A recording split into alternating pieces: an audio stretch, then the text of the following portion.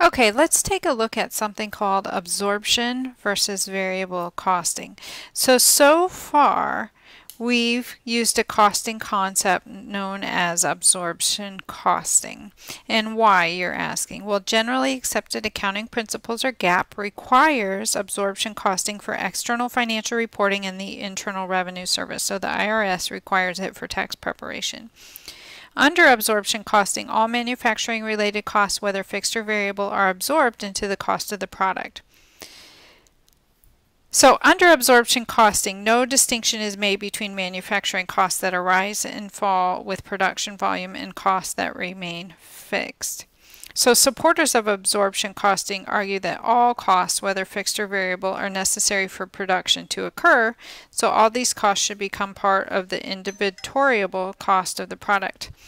Now, on the other hand, many accountants and managers don't agree. They argue that fixed manufacturing costs are related to available production capacity and will be incurred regardless of the actual production volume which occurs during the period.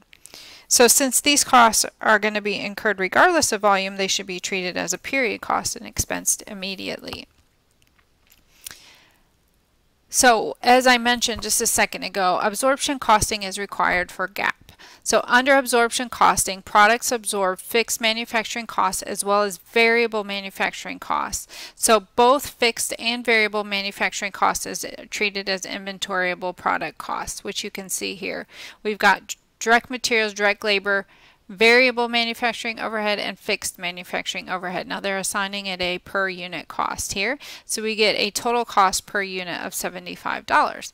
Now under uh, variable costing, this fixed manufacturing overhead component is considered a period cost and not a product cost. So that drops the cost of the product down to $50.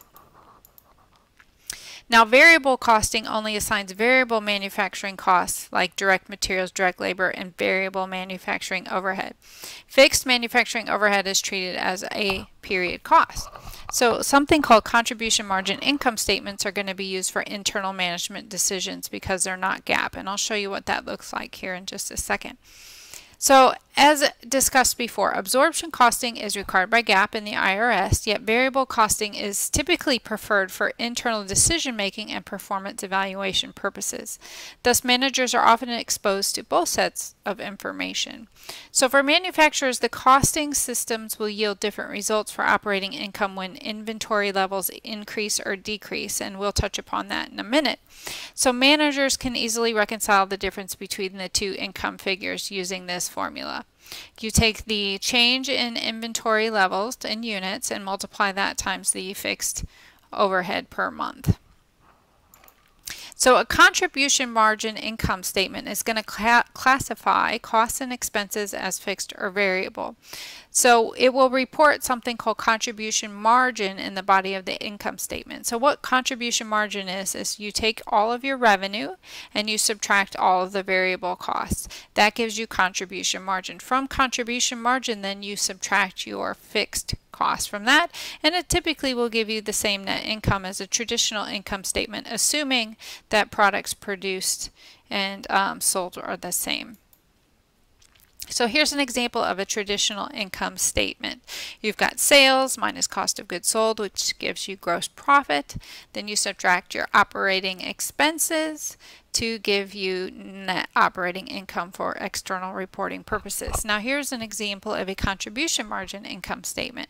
Here we're organizing cost by behavior rather than function.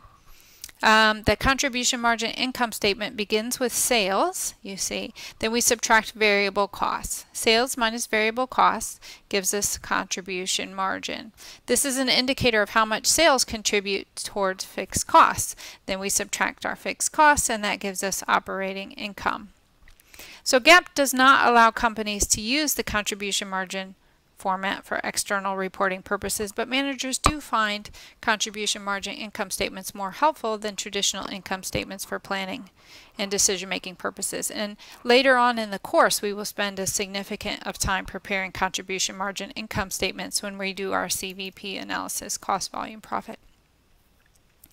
So this chart kind of gives you a nice actual summary. It's a little small and I apologize for that, but it does give you a nice um, summary about key points between variable costing or uh, and absorption costing. So with variable costing, um, it treats all fixed manufacturing overhead costs as operating expenses in the period incurred rather than treating them as an inventoriable product cost can only be used internally, never for external reporting, and it often does result in better decision making than absorption or what we call traditional costing because it gives managers the additional cost of making one more unit of product, which is the variable cost per unit.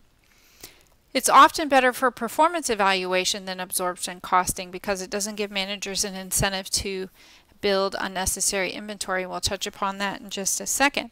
And then it will result in a different operating income than absorption costing for managers whose inventory levels do increase or decrease during the period. The contribution margin income statement is organized by cost behavior. Again, we first subtract variable expenses from sales revenue to arrive at contribution margin. Then we subtract out fixed expenses to arrive at operating income.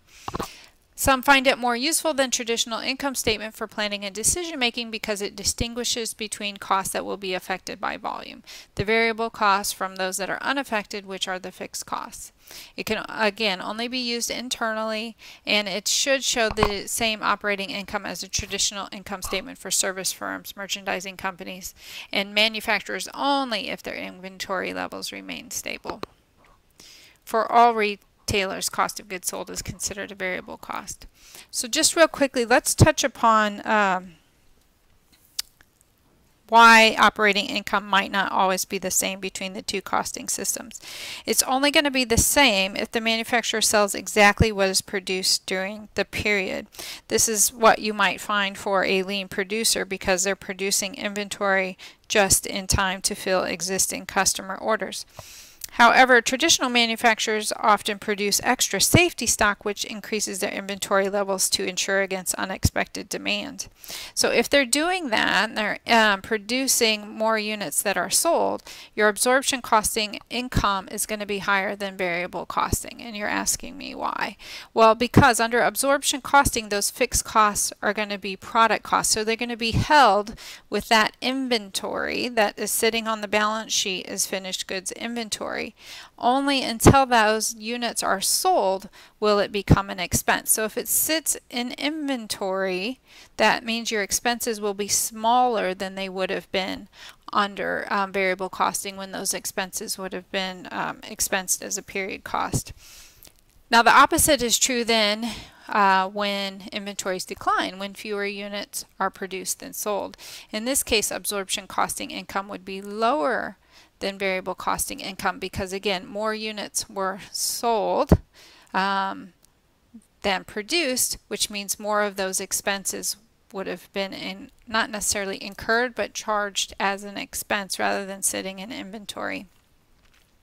So there's some potentially undesirable manager incentives created by absorption costing. And managers may try to increase production to build up inventory in order to minimize or maximize their bonus. And uh, the contribution margin income statement for that reason is usually a better management tool.